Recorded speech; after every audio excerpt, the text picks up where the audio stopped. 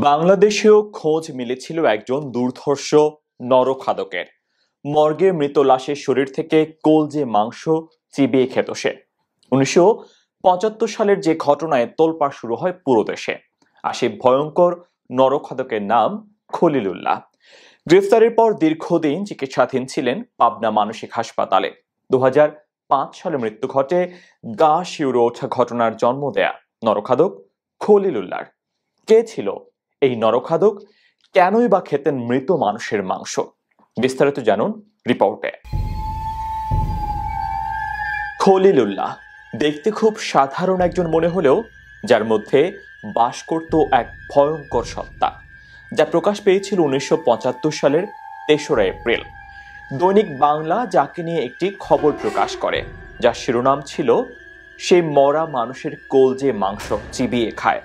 সাথে প্রকাশিত হয়েছিল একটি ছবিও, যেখানে দেখা যায় একজন যুবক একটি লাশের চেরা বুক থেকে কলিজা বের করে খাচ্ছে।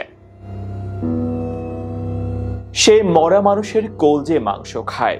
শিরোনামে খবরটি ছাপা হওয়ার পর টনক নড়ে হাসপাতাল কর্তৃপক্ষের। অবশেষে গ্রেফতার করা হয় খলিলুল্লাহ নামের এই নরখাদককে। মানসিক চিকিৎসার জন্য পাঠানো হয় পাবনা মানসিক হাসপাতালে। দু হাজার পাঁচ সালে মারা যায় সে। খলিলুল্লাহর মৃত মানুষের মাংস খাওয়ার নেশার কথা প্রকাশ্যে আসতেই টনক নড়ে ঢাকা মেডিকেল কলেজ হাসপাতাল কর্তৃপক্ষের। তাকে ধরার জন্য ওত পেতে থাকেন হাসপাতালের কর্মীরা। মৃত মানুষের মাংসের লোভে হাসপাতালের মর্গে আসতেই তাকে ধরে ফেলেন মর্গের কর্মচারীরা। হাজির করা হয় তৎকালীন হাসপাতাল তত্ত্বাবধায়ক এম এল রহমানের সামনে। সেখানেই চলে জিজ্ঞাসাবাদ।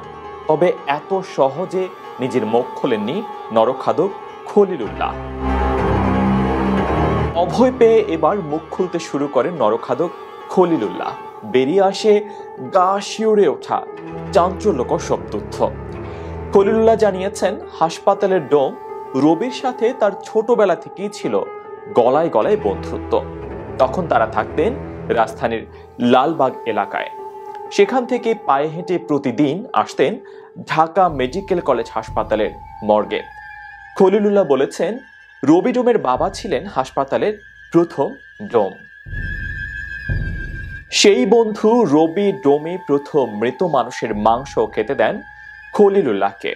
সেই থেকে শুরু তার নরম মাংস খাওয়া। ধীরে ধীরে অভ্যস্ত হয়ে ওঠেন তিনি। মৃত মানুষের কলজে আর মাংস খাওয়া যেন তার নেশায় পরিণত হয়। মেডিকেলের মর্গে বন্ধু রবি ডোমের কাছে তার আসা যাওয়া বেড়ে যায়।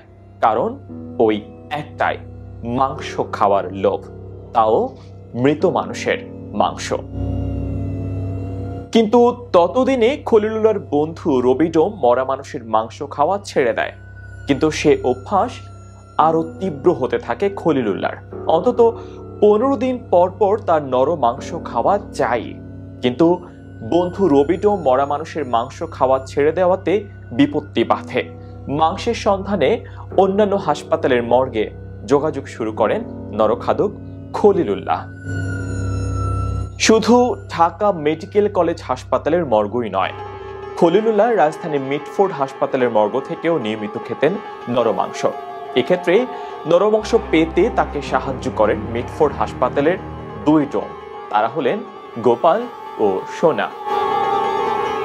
এরপর থেকে নিয়মিতভাবে মিটফোর্ড হাসপাতালের গোপাল ডোম ও সোনা ডোম তাকে মৃত মানুষের মাংস সরবরাহ করত। আর তাতেই রসনা বিলাস ঘটত নরখাদক খলিলুল্লাহর শুধু মৃত মানুষের মাংস খাওয়াই নয় খলিলুল্লাহর আরও একটি নেশা ছিল, আর তা হলো বিভিন্ন কবরস্থান থেকে লাশের কাফনের কাপড় চুরি করা। কবর খুঁড়ে দাফন করা লাশের কাফনের কাপড় চুরি করে পুরনো কাপড়ের দোকানে বিক্রি করত খলিলুল্লাহ। আর কাপড় বিক্রির টাকা দিয়েই সংসারের যাবতীয় খরচ চালাতো সে। এমনকি স্বাভাবিক খাবার খেত সেই টাকা দিয়ে। জিজ্ঞাসাবাদে ভয়ঙ্কর এই নরখাদক আরও জানিয়েছে, সে তার খালাকেও খাইয়েছে নরমাংস। তবে তার খালা মমিনা এ ব্যাপারটা জানতেন না। খাসির মাংস বলে মানুষের মাংস রান্না করে খালা মমিনাকে খাইয়েছিলেন খলিলুল্লাহ। কিন্তু শেষ রক্ষা হয়নি। গণমাধ্যম দৈনিক বাংলায় উঠে আসে তার এই ভয়ঙ্কর প্রবৃত্তির কথা, যা দেখে শিউরে ওঠে পুরো দেশ। অবশেষে ধরা পড়ে হাসপাতাল কর্তৃপক্ষের হাতে। তার মানসিক চিকিৎসার জন্য পাঠিয়ে দেয়া হয় পাবনা মানসিক হাসপাতালে। সেখানেই দু হাজার পাঁচ সালে ইতিহাসের কুরুচিপূর্ণ ভয়ঙ্কর অপরাধী নরখাদক খলিলুল্লার মৃত্যু হয়। প্রিয় দর্শক, খবরটি কেমন লাগল তা জানাবেন কমেন্টস বক্সে বন্ধুদের সঙ্গে শেয়ার করতে অবশ্যই আপনার টাইমলাইনেও খবরটি শেয়ার করে দিন। আর নিয়মিত সকল ধরনের আপডেট পেতে অবশ্যই পেজটি ফলো করে দিতে ভুলবেন না। অনেক ধন্যবাদ এতক্ষণ দেখার জন্য।